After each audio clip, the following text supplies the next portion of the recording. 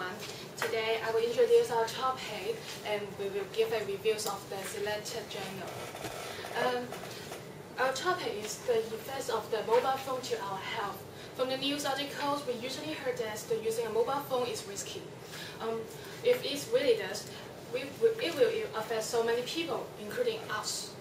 Um, but the picture of the induced effects of the mobile phone is unclear because the um, this previous study is in different research field.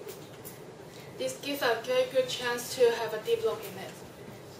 And the selected journal is long-term mobile phone use and brain tumor, tumor risk. Until now, the greatest public concern is that exposure to the RF field will cause cancer. This research aims to prove that long-term mobile phone use raise the risk of the brain, brain tumor, but the data does not support it. And we searched the journal through our school library uh, website, ProQuest Research Library, Science Direct, and SpringerLink are the main search engines used in our assignment. Now I will give you the reviews of our selected article. Sorry. Um, this is a large-scale um, research. The population space is about 3.7 million people, including 900 control and 800 confirmed brain cancer cases. The participants aged 20 to 69 lived in the North Europe.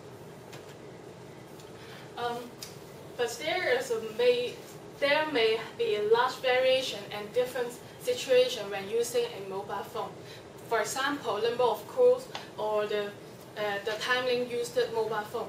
It mainly depends on the participant's ability to, record, to recall their habits. We suggest that using uh, a record software introduced to their client phones, that the result may be more accurate. Another limitation is that the user may not properly understanding the hypo uh, hypothesis. Misclassification and non-participation are the possible error.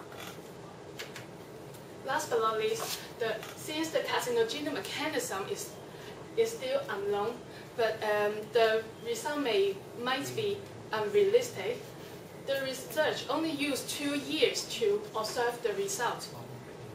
But the previous studies say that the induction time may need 10 to 20 years. This is the end of my presentation. Thank you.